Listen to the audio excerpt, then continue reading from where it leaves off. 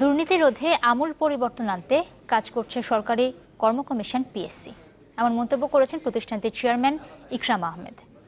রাজধানীর বনানীতে ফারিস্ট ইউনিভার্সিটিতে এক সেমিনারে তিনি এ কথা বলেন। বিগত পাঁচ বছরে বিসিএস এর কোনো প্রশ্ন ফাঁস হয়নি দাবি করে চেয়ারম্যান বলেন, অনলাইনে পরীক্ষার আবেদনপত্র পূরণ এবং ফি জমা দেওয়া ছাড়াও প্রশ্নপত্র প্রণয়ন এবং মুদ্রণে এরই মধ্যে ব্যাপক পরিবর্তন আনা হয়েছে।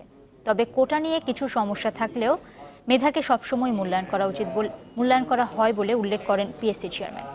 অনুষ্ঠানে অন্যান্যদের মধ্যে উপস্থিত ছিলেন ফারিস্ট ইউনিভার্সিটি ট্রাস্টি বোর্ডের চেয়ারম্যান শেখ কবির হোসেন। আরেকটা আমার একটা প্রশ্ন আছে. দুর্নীতি হ্যাঁ. পিএসসিতে থাকতে পারে বা বলব আছে। এবং ইতিপূর্বে পিএসসি বেশ বদনামও হয়েছিল। দুর্নীতির জন্য যদি কেউ উদ্যোগ নেয় এবং সেটা যদি ধরা পড়ে, যদি ধরা পড়ে, তাহলে কিন্তু এখানে কোনো রকম মার্সি দেখানো হয় না। পরিষ্কার।